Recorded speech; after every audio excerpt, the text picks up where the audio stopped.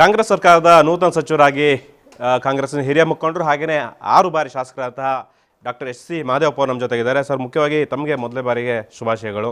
ಧನ್ಯವಾದಗಳು ನಿಮಗೆ. ಸರ್ ತಾವೀಗ ನೂತನ ಸಚಿವರಾಗಿ ಪ್ರಮಾಣ ವಚನ ಸ್ವೀಕಾರ ಮಾಡ್ತಾ ಇದ್ದೀರಾ?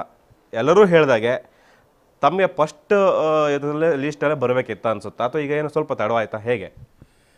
ಇಲ್ಲ ಫಸ್ಟ್ ಬಂತು ತಡವಾಗಿ ಬಂತು ಅಂತ ಅದು ಏನು ನನ್ನ ತಲೆಯೊಳಗೆ ಏನು ಕೆಲಸ ಮಾಡ್ತಾ ಇಲ್ಲ. ಸರ್ಕಾರ ಬಂತಲ್ಲ ಕಾಂಗ್ರೆಸ್ ಸರ್ಕಾರ ಕರ್ನಾಟಕದಲ್ಲಿ. ಅದು ತುಂಬ ಸಂತೋಷದ ಸಮಯ ವಿಷಯ. ರಾಜ್ಯದ ಜನರು ಆಶೀರ್ವಾದ ಮಾಡೋದಲ್ಲ ಕಾಂಗ್ರೆಸ್ ಪಾರ್ಟಿಗೆ. ಅದು ಖುಷಿ ಕೊಡುವಂಥದ್ದು. ಜೊತೆಗೆ ಸಿದ್ದರಾಮಯ್ಯನವರು ಮುಖ್ಯಮಂತ್ರಿ ಆಗಿದ್ದು ಇನ್ನೂ ಸಂತೋಷದ ಸಂಗತಿ. ಸರ್ ಯಾವ ಖಾತೆಯನ್ನು ತಾವು ಬಯಸ್ತೀರಾ? ತಾವು ಕೂಡ ಪಕ್ಷದಲ್ಲಿ ಸೀನಿಯರ್ ಇದ್ದೀರಾ? ಒಂದು ಸಮುದಾಯದ ಮುಖಂಡರು ಕೂಡ ಆಗಿದ್ದೀರಾ? ಹಾಗಾಗಿ. ನಾನು ಇಂಥದ್ದೇ ಖಾತೆ ಕೊಡಿ ಅಂತ ಯಾವ ಸಂದರ್ಭದಲ್ಲೂ ಕೇಳಿಲ್ಲ. ಮುಖ್ಯಮಂತ್ರಿಗಳು ಯಾವ ಜವಾಬ್ದಾರಿ ಕೊಯ್ತು ಕೊಡ್ತಾರೆ? ಅದನ್ನು ನಿಭಾಯಿಸೋದು ನನ್ನ ಕೆಲಸ. ಕೆಲವರು ತಮ್ಮ ವಿರೋಧಗಳಿಂದ ವಿರೋಧ ಶಕ್ತಿಗಳನ್ನು ತಮಗೆ ಸಚಿವ ಸ್ಥಾನ ಕಡೆಯದಾಗ ಸಿಕ್ತು ಲಾಸ್ಟ್ ಸಿಕ್ತು ಅನ್ನೋಂಥ ಅಭಿಪ್ರಾಯಗಳು ಚರ್ಚೆ ಆಗ್ತಾ ಇದೆ. ಎಲ್ಲೋ ಒಂದು ರೀತಿಯಲ್ಲಿ ನೀವು ಸಿದ್ದರಾಮಯ್ಯನವರಿಗೆ ಆಪ್ತರು ಅನ್ನುವಂತಹ ಕಾರಣಕ್ಕೂ ಕೂಡ ಇರಬಹುದು ಅನ್ನುವಂಥದ್ದು ರಾಜಕೀಯ ವಲಯದ ಚರ್ಚೆ. ಇವೆಲ್ಲ ಅಂತ್ಯಕಂತ್ಯಗಳು ಇವೆಲ್ಲ ಗೊತ್ತಿಲ್ಲ ನನಗೆ. ಬಟ್ ಎಲ್ಲರೂ ಸೇರಿ ಹೈಕಮಾಂಡು ಸಿದ್ದರಾಮಯ್ಯ ಎಲ್ಲ ಸೇರಿ ಮಂತ್ರಿ ಅಂತೂ ಮಾಡಿದಾರಲ್ಲ. ಅದಕ್ಕೆ ಎಲ್ಲರಿಗೂ ಧನ್ಯವಾದಗಳು.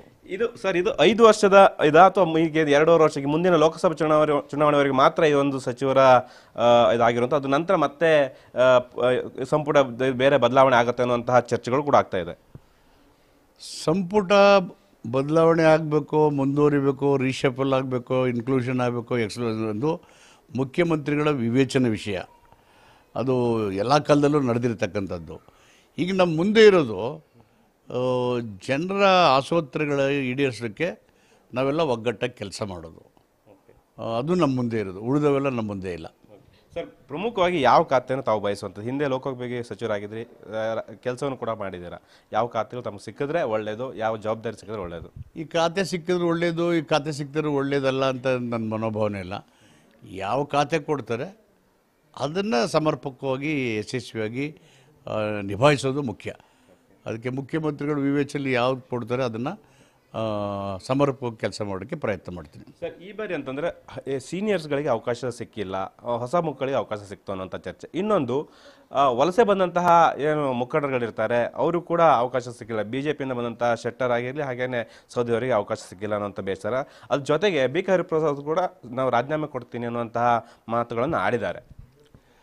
ಕಾಂಗ್ರೆಸ್ ಹೈಕಮಾಂಡ್ಗೆ ಯಾವಾಗ ಯಾರಿಗೆ ಏನೇನು ಮಾಡಬೇಕು ಅಂತಕ್ಕಂಥ ಎಲ್ಲ ವಿವೇಚನೆ ಇರ್ತದೆ. ಸೂಕ್ಷ್ಮವಾಗಿ ಅವಲೋಕನ ಮಾಡ್ತಾರೆ.